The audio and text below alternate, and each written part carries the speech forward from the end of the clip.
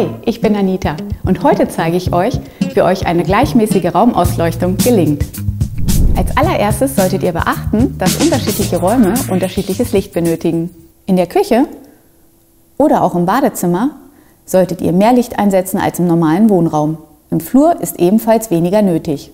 Hinzu kommt, dass natürlich hell eingerichtete Räume weniger Licht benötigen als dunkle, um die gleiche Helligkeit zu erzeugen.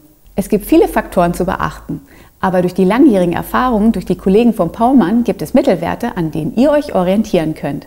Lumen dient hier als Maßeinheit und ist der entscheidende Wert für die Helligkeit eines Leuchtmittels. Für Wohnraum empfehlen wir 100 Lumen pro Quadratmeter.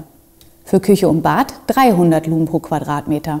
Multipliziert also einfach die Quadratmeterzahl eures Raumes mit dem empfohlenen Lumenwert. So erhaltet ihr die benötigte Gesamtlumen, um eine gute Ausleuchtung zu erzielen. Für eine Grundbeleuchtung eignen sich übrigens LED-Einbauleuchten besonders gut. Helligkeit hat aber auch viel mit dem eigenen Empfinden zu tun.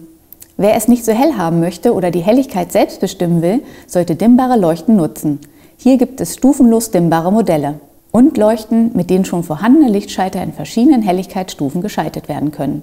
Beachtet auch die Lichtfarbe.